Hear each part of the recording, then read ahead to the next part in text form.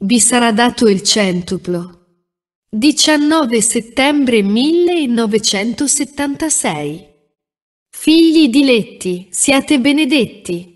Voi avete fatto come quegli operai del Vangelo che, andati al servizio del loro padrone, sono passati, dopo averlo compiuto, a ricevere ciascuno la propria mercede. E che cosa fate nelle vostre case e nei vostri paesi? Non andate svolgendo quelle opere che portano il mio marchio, il nome di Maria o il nome del mio Gesù.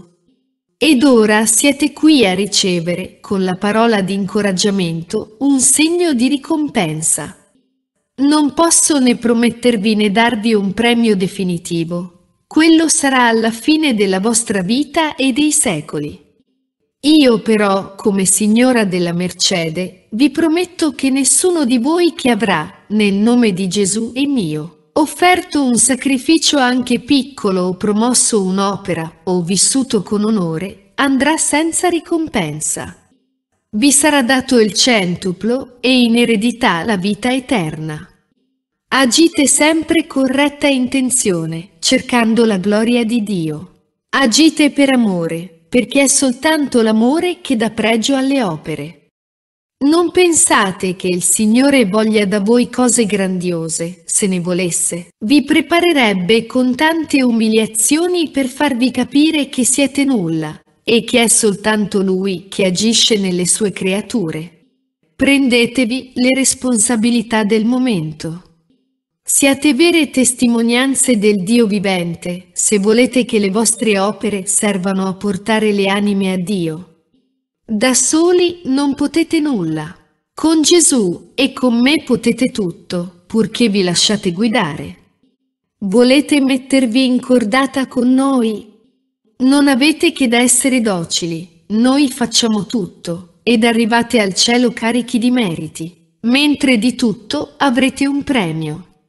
Ci furono alcuni operai che si lamentarono col padrone perché gli ultimi ricevettero la stessa moneta dei primi.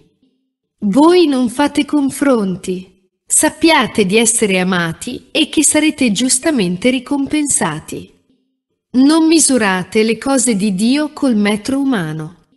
Guardate in alto e la carità la bontà e la generosità stabiliscano fra di voi un legame solido, sincero e, vorrei dirvi, eterno, perché non devono finire qui i vostri gruppi di preghiera.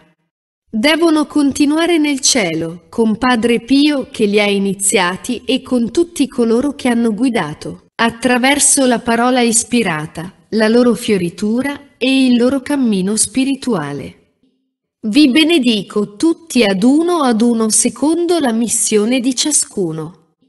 Lavorate e pregate, sia oralmente che mentalmente, e se avrete la fortuna di poter unire sofferenze e sacrifici al lavoro e alla preghiera, ringraziate doppiamente il Signore perché doppia sarà la ricompensa. Arrivederci, figli.